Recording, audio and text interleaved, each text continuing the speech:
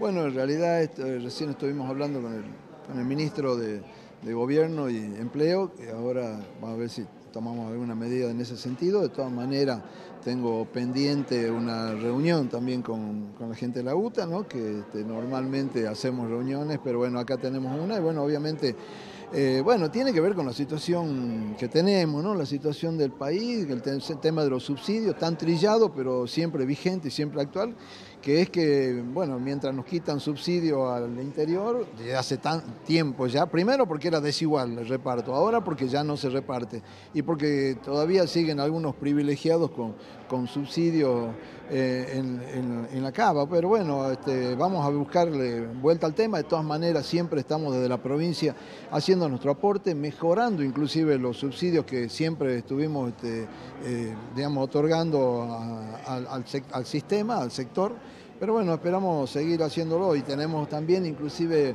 una reunión pendiente con el señor intendente que tiene que ver también con otra preocupación que es, la, que es este, el, boleto, el boleto gratuito para los docentes, para los alumnos que bueno, vamos a buscar vuelta. Nosotros este es algo muy importante para la educación, así que vamos a hacer todo el esfuerzo del mundo para sostenerlo, obviamente. ¿La está para poder sostener el BEU? Porque eso es lo que decía bueno, Bueno, es importante. Los, montos son muy importantes y bueno, seguramente esto depende de esta decisión que vamos a adoptar con el intendente y bueno, los fondos tendremos que que digamos, racionalizar o ver de alguna manera para poner fondos en un lugar hay que probablemente sacar de otro lado. Pero bueno, vamos a hacer esa, esa tarea. Gobernador, los empresarios dijeron que bueno, le van a ofrecer 850 mil a los choferes, ellos piden un básico de 1.060.000. Eh, ahí pueden interceder ustedes como para ver que se actualice esto de acuerdo a lo que se puede pagar Jujuy. Bueno, ahí, ahí, hay una, ahí hay una participación, es verdad, porque digamos, este, los empresarios estaban haciendo un ofrecimiento de cierto monto y obviamente los trabajadores están exigiendo un poco más, que tiene que ver con algunos valores que se están manejando a nivel nacional.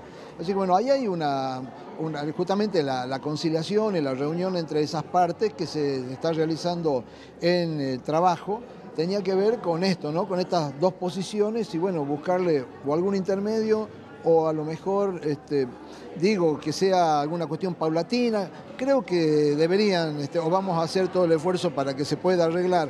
Obviamente que hay una diferencia, ¿no? Entre los 850 y un millón y pico, un millón doscientos, hay una, diferencia. Pero bueno, creo que, que hay que ponerle un poco de voluntad por todas las partes pero además también entender la situación crítica en la que estamos pasando, ¿no?